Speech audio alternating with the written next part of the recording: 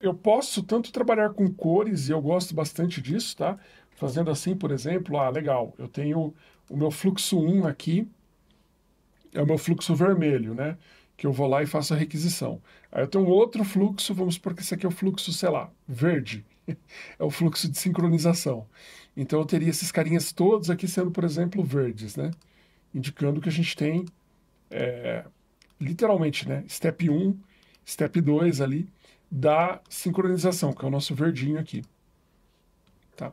E aí eu poderia ter um step 3 que está ali embaixo, né, que está vermelho novamente, mas ele poderia ser outra cor, né, a gente poderia ter mais steps, logicamente, né, para um diagrama tão simples quanto esse, nem precisaria da sequência. Uh, não troquei a, coisa, a cor certa aqui.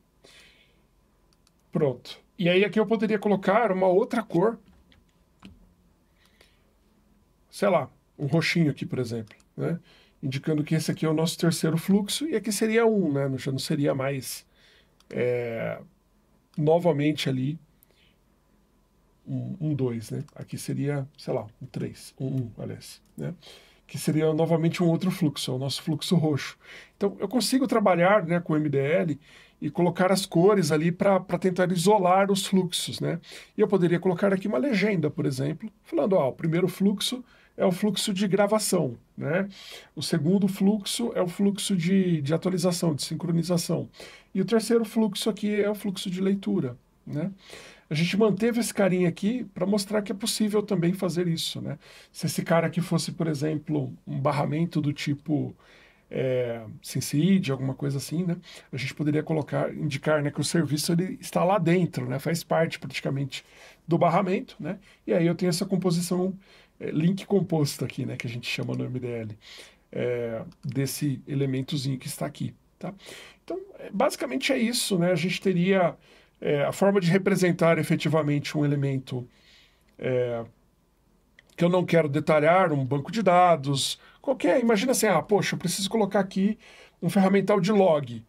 Faz sentido eu detalhar no meu desenho, no meu diagrama de arquitetura, aquele ferramental de log?